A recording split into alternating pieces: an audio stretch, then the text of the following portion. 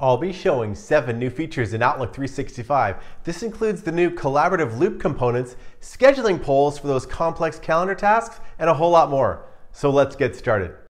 The first new feature is Loop component support in Outlook for the web. Loop is our collaborative technology that lets you real-time collaborate with lots of people with different components. I've got an email here and I'm going to insert a collaborative table so we can fill out our TPS report redesign offsite information. So I'm going to go to the insert menu and you're going to see loop component right here. Now I drop this down and you have many different choices. Tasks are popular, you can do Q&A. I'm going to do a table. So I'll click here. This is added in the loop component and this is a collaborative table and I'll show how it works when I send out the email. So I'm going to give it a title and a couple of column headers. So I filled out some column headers here and a couple of rows and you can see there's a couple of options in this loop component. First off over here, you can see who has access to controlling access to this. Now, when I send it to these folks inside of my organization, they will have the ability to real-time collaborate because I sent it to them. There's other things like copying the component and even looking at shared locations. And also what I'll show later is this will create a loop page in our M365 homepage. I'll show what that looks like. But for now, my table's ready and I'm gonna send it out to a few people up here on the to line and I'll hit send. Now I've sent this out and we're gonna switch over to Ella and Ashley and I'm gonna show in real time what it looks like when they co-author that table. Now here we are side by side, we had Ashley and Ella up and they've both got a mail from Kara. So I'm gonna open this and I'll open it up over on the right hand side too. Now here are the mails and I can see that Ella is in this and over on the right hand side I can see that Ashley is in here too. And as I type here, watch how fast this co-authors. You can even see that the AK little bubble on the right hand side has shown up. You'll see as I type in real time on the right hand side, it comes across. Ooh, that's blasphemy. Why do we even need TPS reports? And you see the little dots going when I was typing. Andy owns that item. I'm putting his name next to it. And you can see it's very easy to collaborate in real time. So as I'm putting in different numbers here, you can see them appear over on the right hand side in real time and things change. Now as a bonus, we're gonna switch back to Kara Coleman. She maybe wants to see how that table is coming along, and there's a link here that'll open up the loop page. So I'm gonna switch back to my Kara Coleman account. I'm here as Kara, and I'm gonna go to my sent items, and here is that message that I sent. And here is the link to that loop page. And you know, Kara can already see that things have been happening. So I'll click this to open up the loop page. Here's the loop page in M365. It's fully collaborative. I can even sort these things. So I can sort, I can say add a sort and say top TPS versus who owns. I want to sort by who owns. And there's the empty ones. I want to sort descending. So there's lots of nice things that you can do in this loop page. And this is still collaborative. So Kara can co-author here while the other people have those mail loop components open. The second new feature is that scheduling polls are now built into Outlook. I'm going to address a message here. Okay, I want to find the best time for these four folks and myself to get a TPS report planning offsite on our calendars. What I'll do next is click Insert, and built in now is Scheduling Poll. I'll click this. This opens up a pane on the right hand side, and you'll see my meeting 30 minutes by default. Here's the date and the availability of all the different people. So there's five of us, and if I expand this, it has all the different people that I'm inviting, including myself and I'll collapse it. Now this reads my own calendar and it reads their calendars and it has a nice little free busy laid out like this. If you scroll down, there are some other times where you can see some people are out or they might not be available. So I'm gonna scroll up and I'll choose a couple different times. We'll say 11 a.m., 2.30, and 3. And I want people to vote on which of those times works best. Now I just click next. I can enter the location. In this case, it'll be a Teams meeting. I can also manage my poll settings since I've set this up. Right here, there's a few options. I'm not going to go through all of these. You can even lock the poll for attendees. So after they respond and you don't want them to change it, you can lock that poll. An important one is hold selected times on my calendar. So what this means is it'll put a tentative block on my calendar for each of these three times here that I'm choosing since I'm the meeting organizer and I don't yet know what people are going to choose.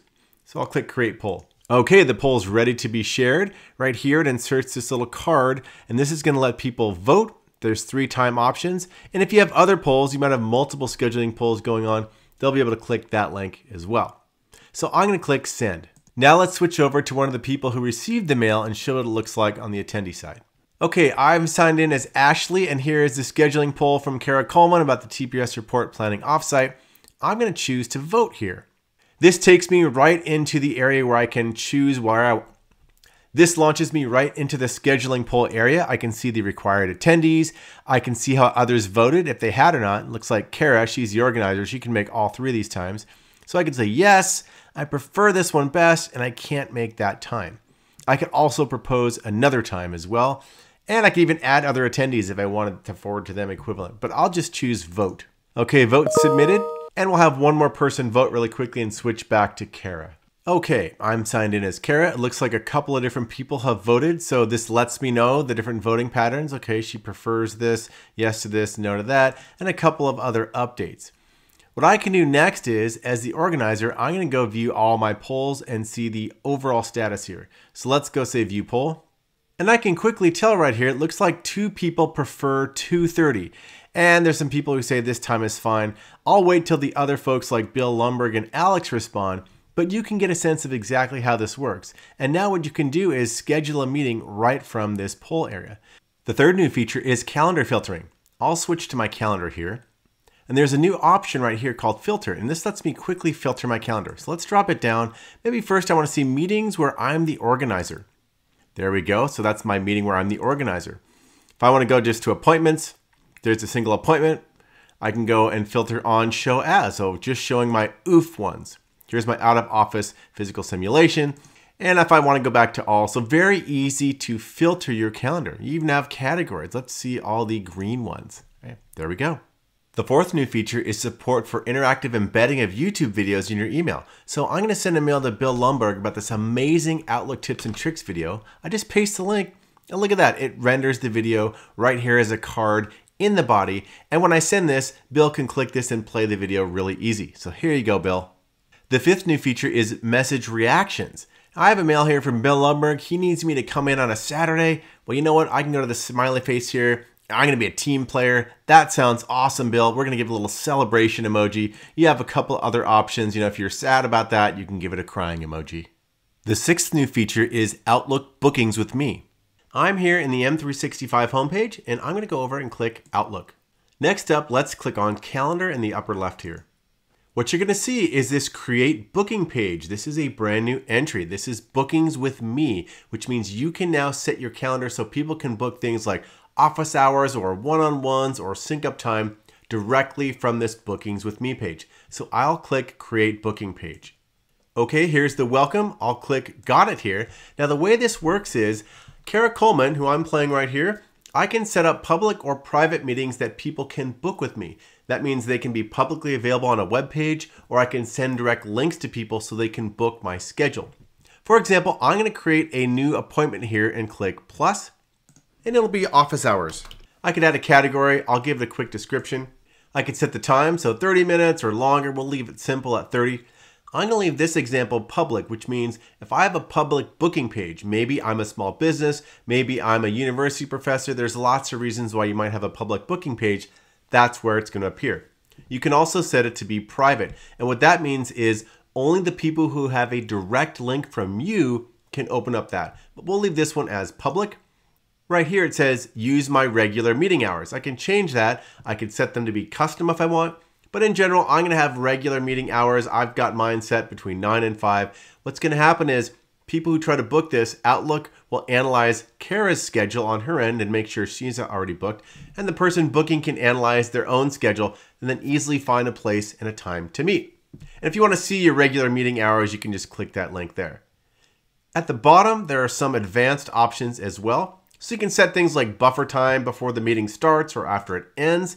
You can also say when it starts and a couple other things around minimum lead time and maximum lead time. You can play around with those, but we're going to keep this simple for our demo here. By default, we also make this a Teams meeting. You could turn that off if you want to meet in person, but I will leave this as a Teams meeting and I'll click Save. You can see that this has been added to my public booking area, and I can create a bunch of different slots if I wanted. I'm going to keep this one safe. You can also add a private link as well. So let's quickly add one here. So I've created a private one, the super secret TPS report planning session. And you'll see there's little three dot menus on each of these as well as a share button up here.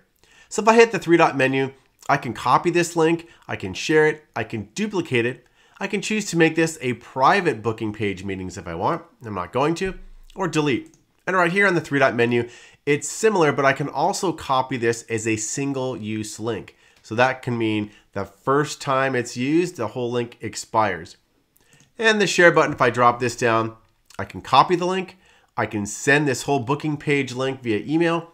I can even add this to my email signature. So the way to think about this is the share button gives people access to your entire booking page. So if I want to put this on a website or put it in my email signature, then people can look at my public booking page entries. I can also then send out individual links. So in this case, maybe I want to send an individual link to this meeting to a certain set of people or the private one. So you have lots of different options. In this case, what I'm going to do, I'm going to share my overall booking page in email. So I'm going to send this email to my good friend Bill Lumbergh. So let's click this. And we'll address it to him. Add a message. Okay, my message is ready to send. I'm going to send my booking page link off to Bill Lumbergh. I'll hit send. Now I'll sign in as Bill Lumbergh and we can see what it looks like on his end. I'm signed in as Bill Lumbergh and here is a message from Kara Coleman. It says, I encourage you to book time so we can talk about the latest Initech happenings. That sounds like an awesome meeting. So I'm going to go click book meeting. Now this pulls up Kara Coleman's booking page and here's that public booking slot right here. And also, by the way, up on the right, it encourages Bill Lumbergh to make his own booking page. So anyone can create a bookings page, but I'm going to close this here. Now, what you see under available times is Outlook is looking at Kara's calendar and what's open, and it's mapping it to my calendar and showing when I'm available. So I can click on a date here, and it's really easy to find a time that matches my calendar and Kara's calendar. So you can note here that 1.30 slot to 3 o'clock, that's booked in there. There's some other times happening. I'm going to choose 3 p.m. on Wednesday, February 8th. I can check available versus within meeting hours, and I can also set my own time zones right here. So there's a few options. We're going to keep our example here pretty simple. So I've gotten 3 p.m. and I'll click next. Has my name, has my email. I can add a note back to Kara. Can't wait, and I will click book. And it's going. So what it's done is it has booked a time in my calendar as Bill Lumbergh. So let's switch over there and we'll check in my calendar. So there's 3 p.m.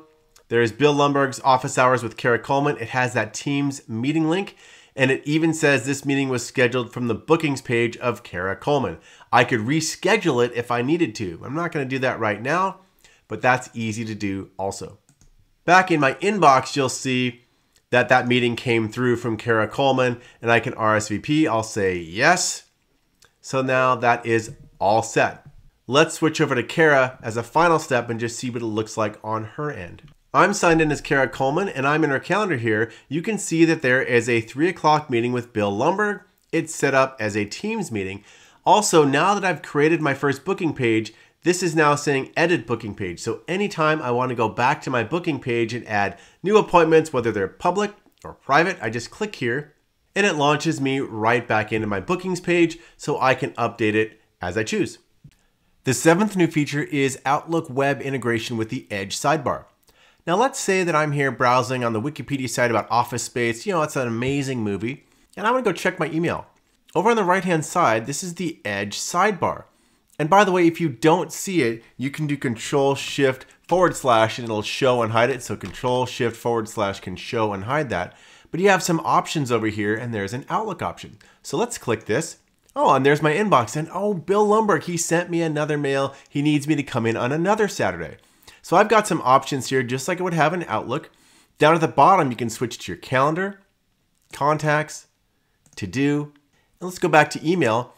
I can click on a message and it opens it up right here. And I can go forwards and backwards. I can reply, reply all. I can hit the three dot menu. And down here, I have all the options that I normally would in Outlook, just in a compact space. I can even delete it or archive it. And if I want to go full screen, I say open in full screen. Now it pops that email into the full Outlook view and I can operate on it in all these different buttons across the top. If you want to keep up with all the latest Microsoft updates and tips and tricks, subscribe to my channel and then just ring the bell so you get all the latest videos that I post.